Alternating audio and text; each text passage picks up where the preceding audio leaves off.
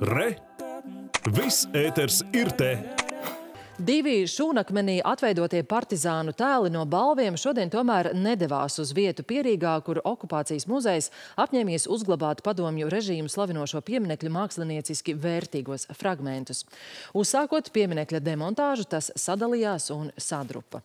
Iedzīvotāji nejauši garām gājēji uz notiekošo noskatījās ar dalītām jūtām. Plašāk no balviem vēsta Dinija Jemeļjānova.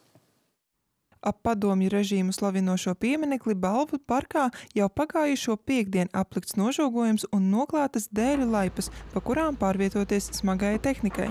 Pati demontāža gan sākās tikai šorīt no rīta. Ne visu 3,5 metru augsto pieminekli būvniekiem bija jāiznīcina pilnībā. Augšējo pieminekļa daļu bija plānots nodot okupācijas muzejam, taču to cenšoties noņemt tā sadrupa, un acīm redzami tas vairs nebūs iespējams. Tālāk mēs gaidām informāciju no okupācijas muzeja, vai viņi šādā veidā to pieminekli pieņems, vai tas ir pa daļām un utilizējams tālāk būgružos vai kaut kā citā veidā. Aptuveni 37 tūkstoši tas prieks maksāja ja tā to var teikt. Vēl šonadēļ Balvu novadā iznīcināta piemiņas vieta partizāniem netālu no Tilšas ciemata Grīvas mežā, bet nenojaukts vēl paucis piemineklis Baltinavā. To pašvaldība solās paveikt bez būvnieka palīdzības.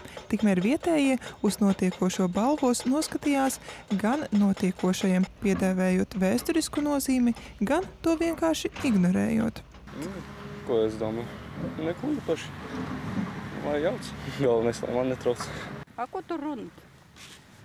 Ar ņemamies ar mirušajiem, bet bērniem nav ko ēst. Vecākiem nepalīdzam, bet šim nauda ir. Sen vajadzēja jau. Neredzēju, neredzēju kad cēla lakus dzīvoju. Man pēc kara astoņi gadi bija. Un vecmāmas saka, mums nebūs, bet pienāks laiks, ka būs jau pavecam viss. Un sagaidīju 90 gadiem. Šeit bija tirgus laukums līdz 40 gadam. Un šī vieta bija mazmaiņa uz vidus, kur šis laukums. Jā. Mūsdienās šī pieminekļa vietā vietējie vēlētos redzēt rotaļu laukumu, jo tas, kas uzbūvēts pretējā parka pusē, bieži esot slēgts. Dīnija Jemeļanova, Māris Justs, Latvijas televīzija.